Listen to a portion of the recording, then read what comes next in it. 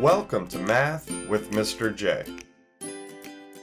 In this video, I'm going to cover how to find what percent one number is of another number. We will go through three examples. Let's jump into number one, where we have 17 is what percent of 20.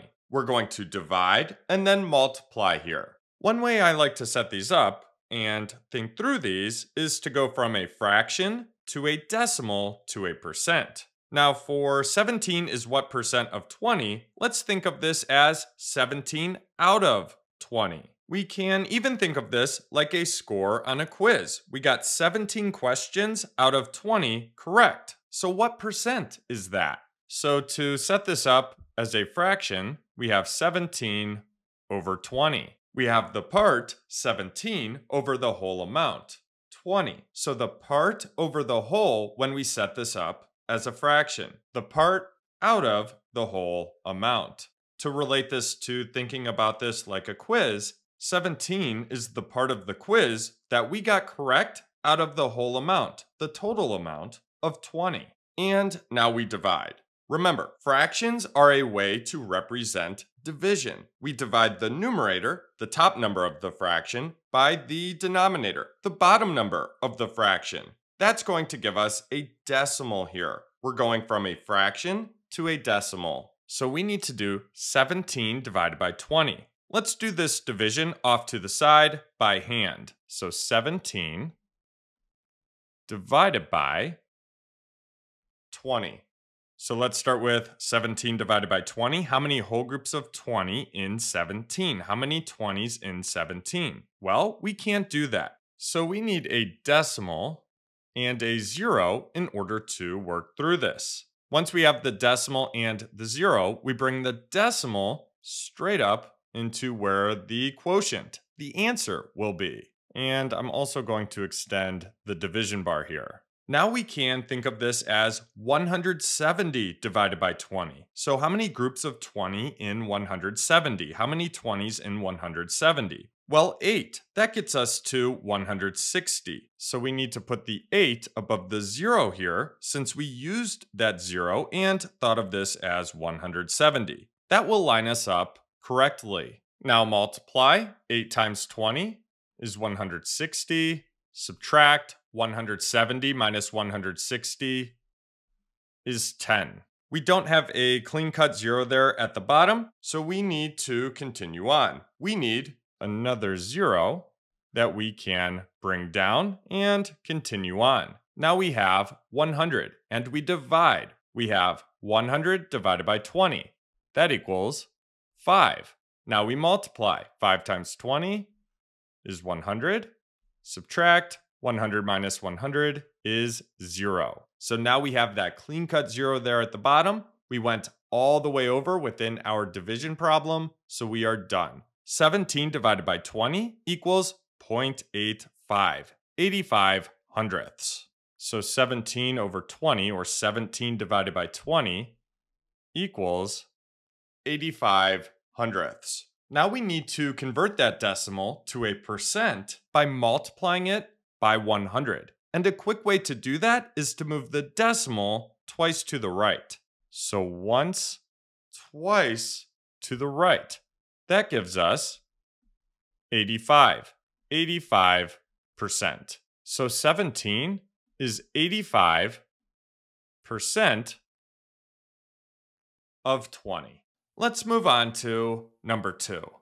Taking a look at number two, we have 30 is what percent of 75? We're going to divide and then multiply here. Now for 30 is what percent of 75, let's think of this as 30 out of 75.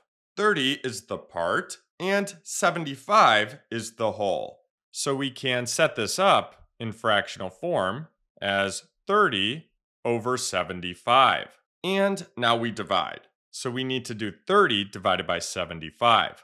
Let's do that by hand off to the side. So 30 divided by 75. So we start with 30 divided by 75. How many whole groups of 75 in 30? How many 75s in 30? Well, we can't do that. So we need a decimal and a zero in order to work through this. Once we have the decimal and the zero, we bring the decimal straight up into where the quotient, the answer will be. And now we can think of this as 300 divided by 75. So how many groups of 75 in 300? How many 75s in 300?